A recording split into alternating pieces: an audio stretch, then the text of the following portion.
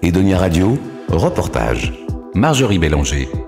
L'association Voisins Solidaires qui est à l'origine de la fête des voisins met en place un nouveau dispositif, l'heure civique, qui encourage la solidarité entre voisins ou habitants d'une même commune. L'idée, donner une heure par mois de son temps pour aider un voisin. On peut proposer ses services pour faire des courses, du bricolage, de l'informatique, du jardinage, bref, ce que l'on veut. La commune, elle, recense les besoins de ses habitants et les met ensuite en relation avec les voisins volontaires qui se sont inscrits sur une plateforme. Plus que de l'entraide, l'heure civique, mise en place et financée en partie par les départements, vise à recréer du lien entre les citoyens.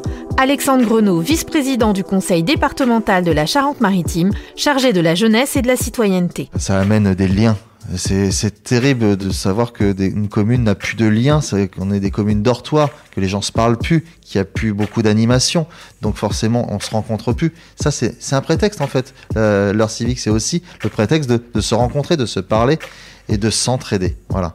Donc en fait, vous attendez d'autres retombées de leurs citoyennes qu'une pure entraide. Euh, bien sûr, bien sûr. Qu'on s'entraide, c'est très bien, il y en a besoin, mais c'est, on va plus loin. On sait très bien que grâce à ça, les gens vont se reparler, vont recréer des liens qui sont primordiaux aujourd'hui. Aujourd'hui, il faut, de l'échange. Il faut de l'humain. Moi, moi j'aime les dispositifs où il y a de l'humain. Alors, il y a une plateforme numérique, mais c'est juste pour s'inscrire, pour être volontaire. À partir du moment où on est inscrit, il y a des liens visio, téléphoniques et humains qui vont après.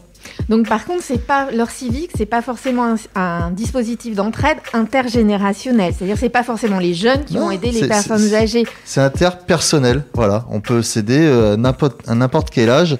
C'est donner un, tuyau, euh, donner de sa passion, donner du temps pour euh, développer sa passion avec les autres. Voilà, quelqu'un qui aime le jardinage va peut-être le dire à, à, une famille qui est à côté qui sait pas jardiner. Les cours de cuisine, les cours de, des réseaux sociaux, tout est possible. Ce qui compte, c'est de, se parler. Et c'est de la positive attitude. Hein. Aujourd'hui, dire qu'on est positif, c'est pas forcément bien vu.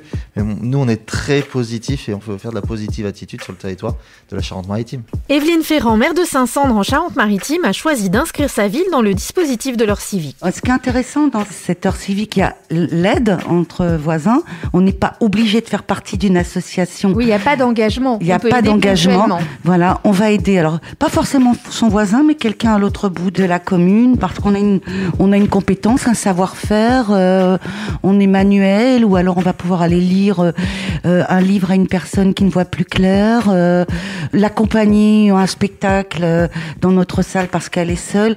C'est beaucoup de choses comme ça qu'on va fédérer. Vous savez, il y a beaucoup de gens qui sont seuls, mais ils ne le disent pas. Et, et j'espère que les gens vont répondre à cet élan de citoyenneté.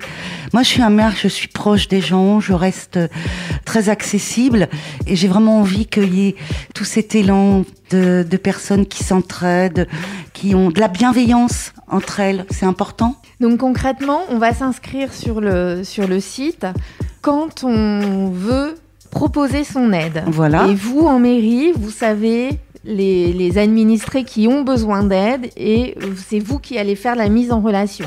Il n'y a pas de mise en relation directement sur le site. Non, c'est compliqué après parce que c'est un échange de coordonnées, de numéros de téléphone.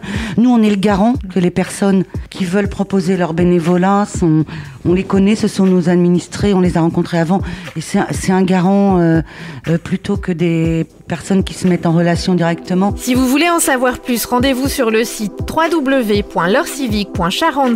www.leurcivique.charente-maritime et renseignez-vous auprès de votre mairie.